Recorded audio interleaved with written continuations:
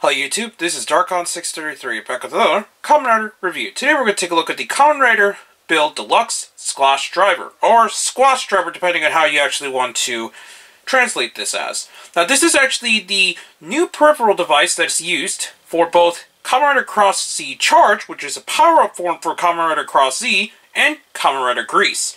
Now what's really interesting about this belt is that it actually utilizes the Squash or Sclash jellies in order to use it for the henshin. Now this is definitely different compared to the build driver, since the build driver actually uses the full bottles.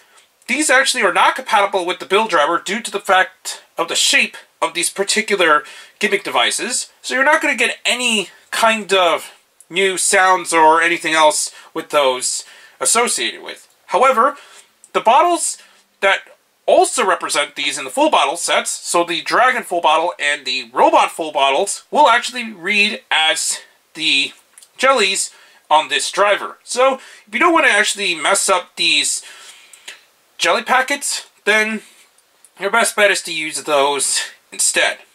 Anyways, we'll take a look at the box first. The box is pretty much what we've seen with the build driver. It has a picture of the jellies there.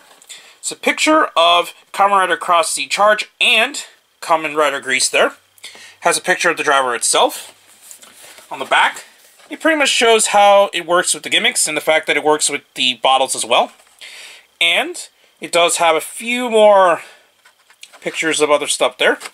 And that pretty much covers the box. Now we're going to take a look at the driver itself. The driver is very interesting looking. It looks like a toolbox of some sort due to the fact it does have this ratchet there. So that's pretty cool. Well, not a ratchet, but um, wrench, if I remember correctly. All in all, it's pretty cool, and it's actually a lot more colorful than a lot of the other drivers we've been getting recently. A lot of them are in a darker red or just a darker color in general. This is definitely a lot more bright than what we've seen in general. So that's pretty cool. The main gimmick is that when you pull down this lever, it will actually squeeze and close around the jellies or the full bottles. Anyways, we're going to turn this on. And this is really nice sound coming from the device. And we're actually going to use the Dragon Sclash Jelly first. So, we're going to turn this around and plug it in.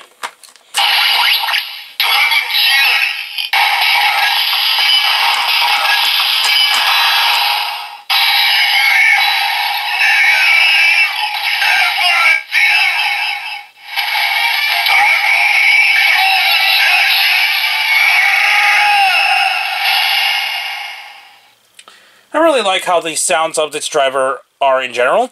And one thing to note is it does actually squeeze the packet ever so slightly. A lot of the promotional shots and how it works in the show is that it actually squeezes and crumples up this particular actual jelly a little worse than it would be nice to since it really will damage the product just by using it. But when you look at it, it doesn't actually squeeze that hard, and you actually need to use a lot of force in order to actually squeeze it as much as it does, so that's good that you actually don't need to do that.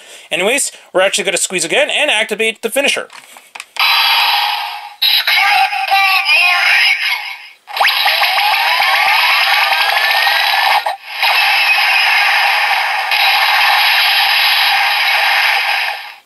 So that's pretty cool. We're going to take out the Dragon Sclash Jelly and put on the robot one. So here we go.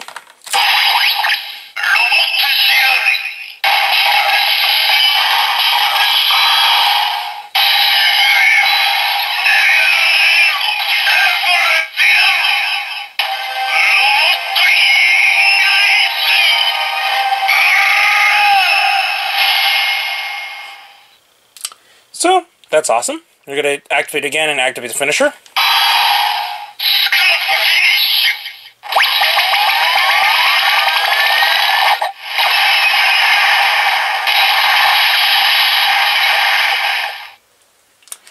Pull the jelly out and take a look at some of the other bottles that we got to work with.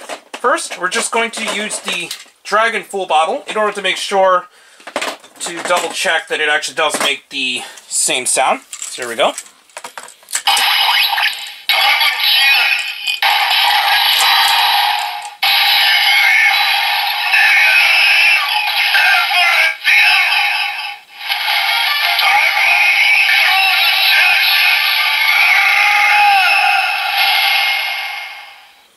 Squeeze it again, it will still activate the same finisher.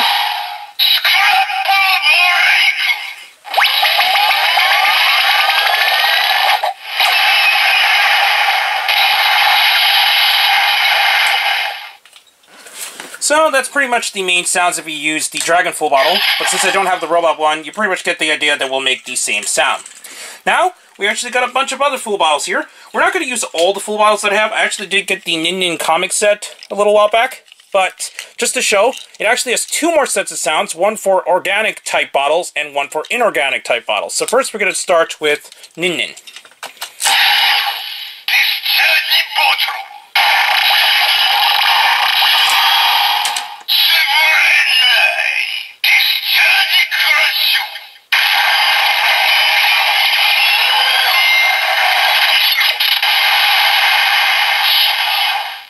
And if you squeeze it again, it will activate the same sound.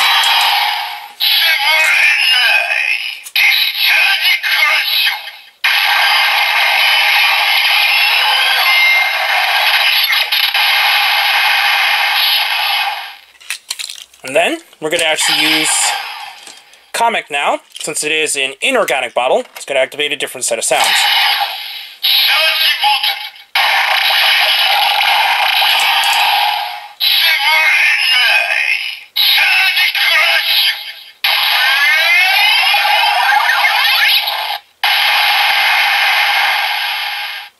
With that, that pretty much covers what this driver does. It definitely doesn't do a whole lot compared to what we've seen with the Build driver. It's got a lot more generic sounds, although it's nice that it does have a pretty interesting, unique feature. It is unfortunate that it could cause it to actually crumple up and kind of get damaged over time since you are squeezing the sides of these actual plastic package-styled gimmicks. Other than that, it's still nice that you can actually use the regular full bottles in order to activate the sounds as well if you don't want to damage these. And it's definitely a pretty interesting device, but it's definitely not really worth the full price that it's entailed. It's definitely a better idea to get this on sale since you're really not going to get a whole lot out of the box. While it does come with two full riders types of gimmicks rather than the build drive which only had, obviously, Rabbit Tank for build, it definitely doesn't do a whole lot, especially if you don't have a lot of the bottles, and even if you did, it's not going to really do that much in general.